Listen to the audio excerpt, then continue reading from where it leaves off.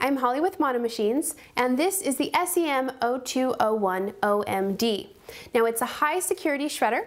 It's used for government and other high security environments. It is a level 6 optical media shredder.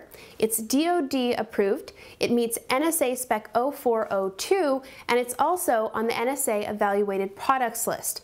Now if you come in, I'm going to show you how to use it. It's super easy and super fast. All you do is feed the CDs in here and it destroys them as fast as you can feed them in. And you can shred CDs, DVDs, ID badges, key access cards, and credit cards.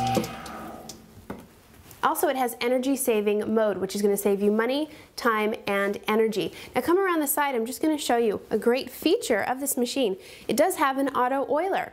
Now this auto oiler is very easy to use. You just unclip it, and clip it back in.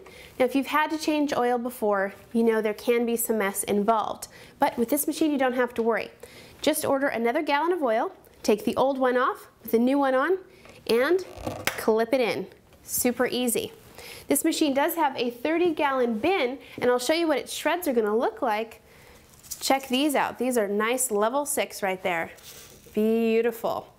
Now with SEM, you are getting quality, you're getting durability, and that means this machine is gonna last you a very long time.